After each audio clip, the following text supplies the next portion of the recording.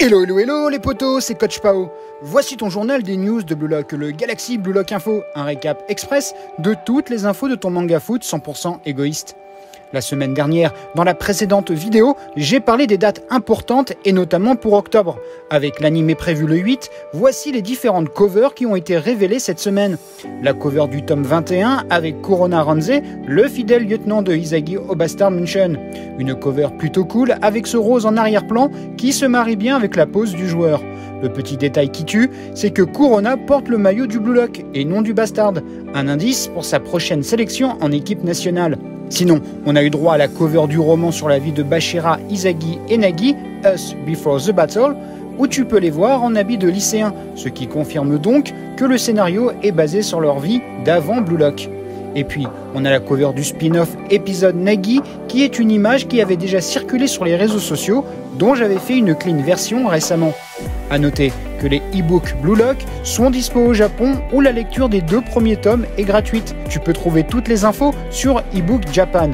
Côté animé, on a une info intéressante, c'est qu'au Japon et peut-être dans toute l'Asie, c'est Netflix qui va proposer Blue Lock et voici leur visuel qui sera sur la plateforme de streaming. Pour rappel, en France, c'est Crunchyroll qui a les droits dont il a été confirmé qu'une version doublée en français sera également dispo. Tout est fait donc pour que Blue Lock attire un large public. Tandis qu'au Japon, les premières projections dans des cinémas dédiés ont débuté. Et pour l'avant-première située à Tokyo, à Shinjuku Piccadilly Cinema, quatre seiyuu, les voice actors de l'anime, étaient présents, dont celui de Izagi, Bashira, Shigiri et Gagamaru.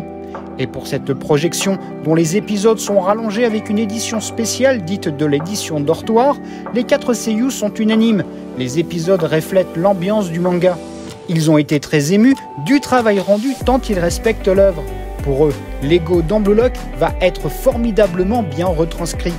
Cette interview fut donnée en japonais sur le site bluelock-pr.com. D'ailleurs, sur les sites de vente de tickets de cinéma, j'ai mis la main sur un autre visuel pour les deux épisodes projetés. On y voit bien la présence du cadeau offert, le dessin exclusif de Nomura. Et la grosse actu, c'est le nouveau trailer Blue Lock. Tu peux voir qu'on accentue le passé tragique de la sélection nationale en Coupe du Monde, plus de nouvelles scènes de match et aussi sur la fameuse conférence de Henry Thierry qui présente Blue Lock et tu peux voir des scènes où on voit des nouveaux personnages. Sûrement le dernier trailer avant le début de l'animé. Niveau collab, j'ai trouvé des photos qui te permettent d'en savoir plus sur le Tree Village Café en mode Blue Lock. D'abord, le service ne correspond pas au visuel de tes héros. Il n'y a pas de serveur. Tu te diriges directement à un comptoir comme pour un snack ou un fast-food. Résultat, tu es bien servi comme vu précédemment dans une de mes vidéos, dans une assiette en plastique avec des plats qui semblent pas très appétissants pour moi. Et avec tout ce plastique niveau écologie, la copie est à revoir au sein de cette marque. Puis, avec le parc d'attractions FujiQ Island, j'ai trouvé une photo de stickers ou goodies exclusifs Blue Lock FujiQ. Tu peux voir Nagi et Rin, deux des personnages avec le plus de flow du manga. Et il n'y a pas une semaine sans que Blue Lock ne fasse une nouvelle collaboration au Japon. J'ai rarement vu un tel engouement autour d'un manga avant son animé, et c'est le magasin Shibuya Loft, marque très connue au Japon, qui va ouvrir son pop-up store en octobre sous le thème du festival costumé. Du 1er octobre jusqu'au 24, tu pourras avoir des goodies exclusifs des héros du Blue Lock dans des looks, comment dire, très what the fuck. Izagi en prisonnier sorti tout droit du film O Brother, Gagamaru en mode tigre et dragon, Reo en mode Mr. Fantastic Fox, Nagi en tanuki, Bashira en démon du Tyrol autrichien, Kunigami en majordome et Shigeri en mode emo geek avec une patte d'ours. C'est spécial, mais ça va trouver son public avec tous ces goodies exclusifs et sûrement limités. Toujours niveau goodies, on avait eu l'année dernière la serviette Blue Lock de Pika Edition. Cette fois, au Japon, Ban Presto, plus connu pour ses figurines, propose un set de 4 serviettes Blue Lock. Cette semaine, on a eu droit aussi à une série sur des nouveaux blocs-notes et sur des stickers basés sur l'animé.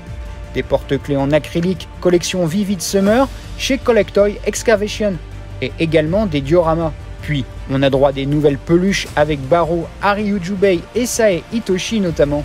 C'est chez Fanema, réservation à partir du 27 septembre.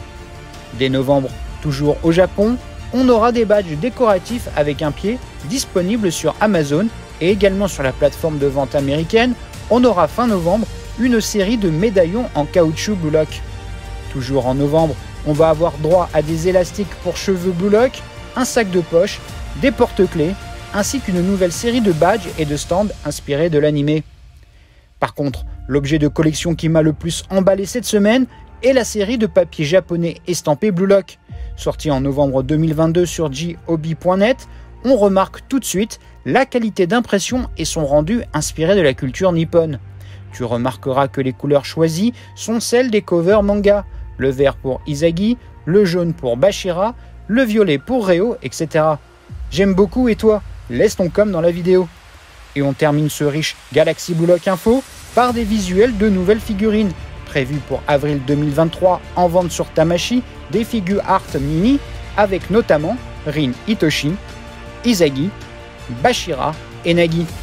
Encore une fois, le style chibi version avec de grosses têtes est privilégié, mais le gros point fort de cette série est que ces figurines seront articulées en partie. On pourra donc leur faire faire des pauses pour donner un côté plus réaliste à la figurine. Les précommandes débuteront donc dès le 3 octobre sur tamashi.jp. Et news de dernière minute, je l'avais relayé sur Twitter, mais cette fois c'est confirmé. Le jeu mobile Blue Lock va arriver.